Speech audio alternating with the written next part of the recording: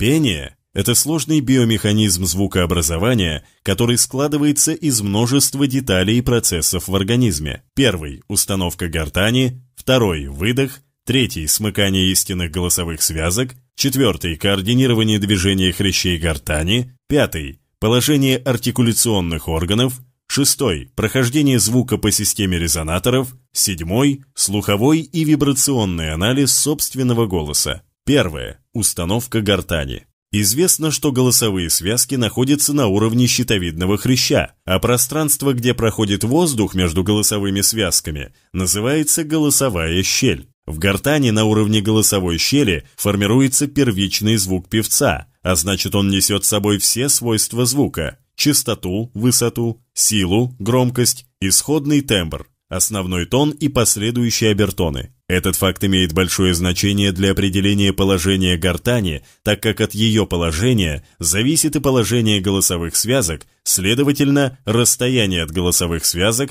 до места выхода в наружное пространство. Опуская или поднимая гортань, мы определяем длину надставной трубки, ротоглоточный канал. Длина же надставной трубки определяет оформление исходного тембра и удобство при пении. Физиология каждого человека уникальна, как уникально и строение голосового аппарата. Но существуют определенные сходства строения и соответствующего им качества звука, по которым мы можем определить тип голоса – бас, баритон, тенор, меццо-сопрано, сопрано. Для всех типов голоса характерно общее наличие определенной закономерности длин голосовых связок и длин надставных трубок в пении. Физиологическая длина голосовых связок относится к длине надставной трубки при пении как 1 к 10. Я приведу сравнительные величины средних длин голосовых связок и надставных трубок у разных типов голосов. Бас. Длина голосовых связок 2,4-2,5 см, длина надставной трубки 23,3-25 см.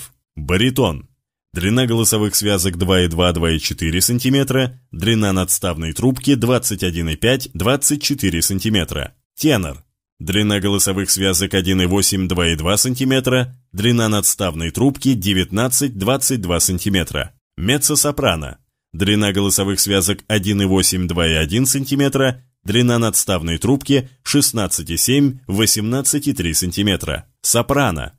Длина голосовых связок 1,4-1,9 см, длина надставной трубки 15,3-18,5 см. Таким образом, у профессионального певца при пении длина голосовых связок всегда в 10 раз меньше, чем длина ротоглоточного канала, надставной трубки. Следует, конечно же, учитывать незначительные изменения длины голосовых связок при изменении высоты пения, при этом надставная трубка остается постоянной. Такая пропорция достигается именно благодаря правильному положению гортани. Зная свой тип голоса, можно грубо установить гортань на уровне определенного шейного позвонка, то есть двигать гортань вверх или вниз до тех пор, чтобы щитовидный хрящ оказался напротив нужного для данного типа голоса позвонка.